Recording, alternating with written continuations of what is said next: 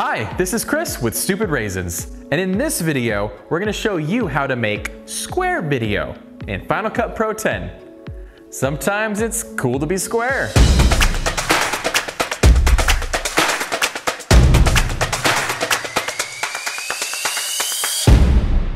Now I'm gonna share with you how to create square or vertical projects in Final Cut Pro. Then we're gonna take 16 by 9 footage and fit it into those square and vertical projects. We can also take existing projects and put them in there using Smart Conform. And lastly, what, we'll what I'll show you is how to use square or vertical footage in a 16 by 9 format. I think that covers it. Let's go check it out.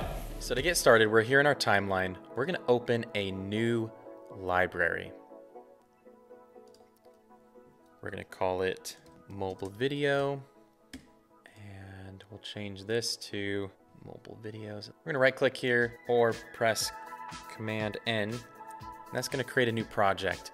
So what we're gonna look at here is a how to do the square video. Now in the past, what you needed to do is click on this video spot here, go to custom, and instead of having 1920 by 1080, we would be doing 1080 by 1080. And that would create a square project.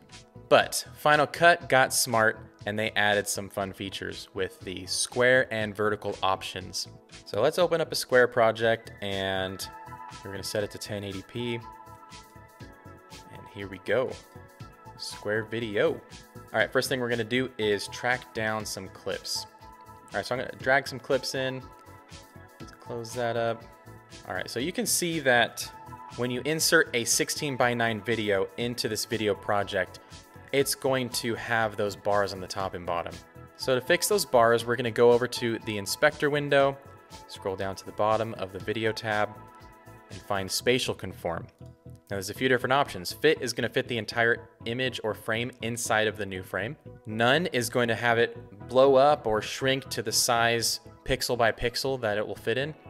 And fill just like it sounds, it's gonna fill up every pixel for you and expand horizontally or vertically. And you can make some adjustments. Let's say you don't like how that's positioned. You can actually take this and slide it back and forth to the point that you want it to be. Like if you want to just see the bug, you got that. If you want to be able to see the girl walking up to it, pretty cool. So you can customize that further. We can drop in some titles. So since we're dealing with social media, let's bring in something dramatic.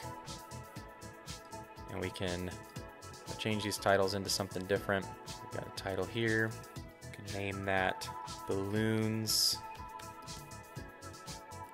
Next one, we can name that Van. And the final one, we can name Lady playing that back. Balloons, van, lady.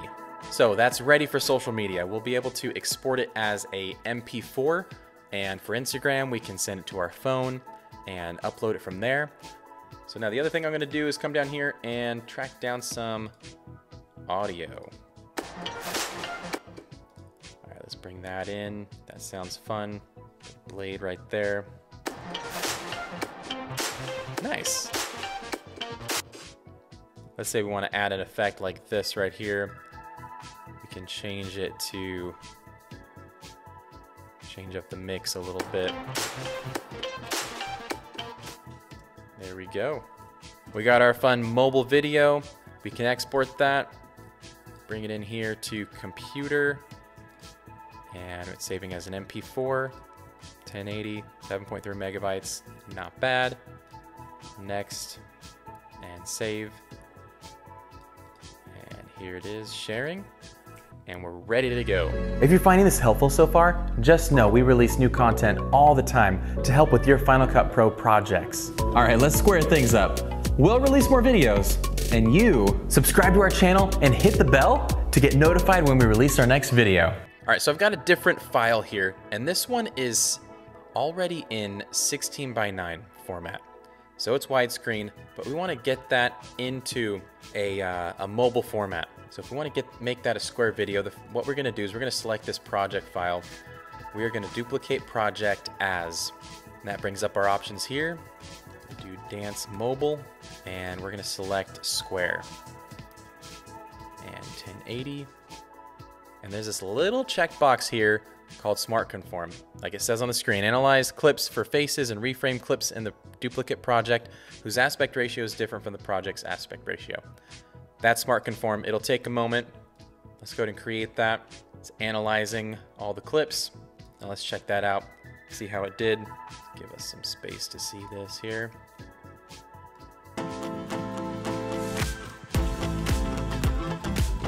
All right, you can tell we've got we've got a little bit of work to do. Um, a lot of the action is taking place in all, all the center of the shots here. This title did get goofed up a little bit. Let's put it in a spot where we can see this title. We're gonna bring this in. Got controls on the screen, look at that. And with just one small modification, we've now taken that 16 by 9 video and turned it into a square video by just adjusting the title a little. So another way that we can change a 16 by 9 video to fit into a square uh, video, we're gonna go over here, select the project, go to modify, and in here we will find that we can change it to square or vertical. Reset that to 1080, open it up here. Again, the title just needs to be adjusted. We're going from one thing to the next, and looks like that just needs to be done every time.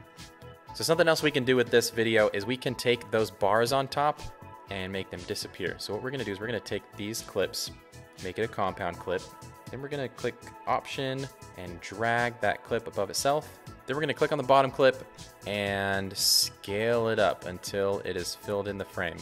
Now if we play that back, let's see what kind of effect that made. That looks pretty good. Now what you can do with this as well is you can change some of those settings on here. So you can maybe bring the opacity down so in the background it's kind of kind of a little more dim. We can also drag an effect. Let's just get a Gaussian blur and whoo, that is blurry. So we can take that amount down if we want, just so it gets a, a little bit of focus to the main video, but it still has that fun background and fills the entire frame. All right, so we're gonna take this and we're gonna create a um, vertical clip here. So another way we can use those black bars is we can actually move our titles into those spaces. In this case, it gives uh, more focus to the dancers on the screen. But let's say you didn't want to do that and we want to add our own titles. Let's just do custom. We're just going to bring that in. Custom. I'm going to drag that title up. Dancing Fever. And let's add a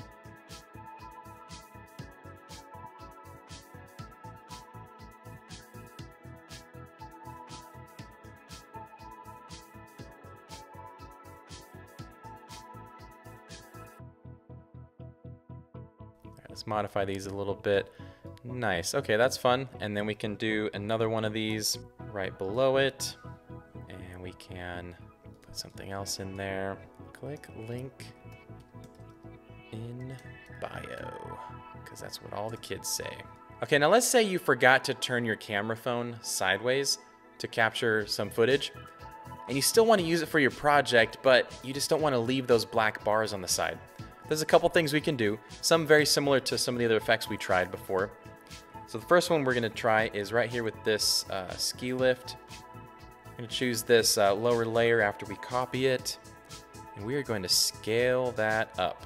So we can either dim that and have that sort of effect, or we just drag and drop, go to the blur options, Gaussian blur, take the amount down a little bit just to where you're wanting it to be. I want to be able to see some of the background.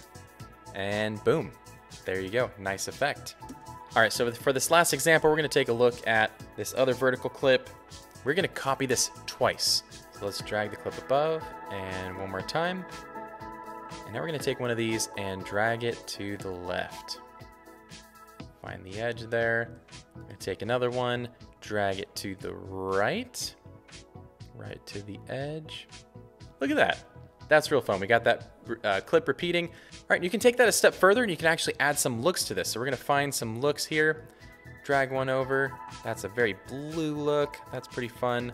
You can put the heat wave on another one. That's fun, look at that. All right, we got three very distinct looking colors. and just adding a little bit of pop. Get it, balloon? Pop? Adding a little bit of pop to your vertical video. Great job. You should be proud. Chin up, square your shoulders, walk confident. Now, I have a free gift for you a pack of Final Cut Pro 10 plugins to enhance your videos and impress your clients. It's worth $138, but it is yours free. Just click below for your free gift.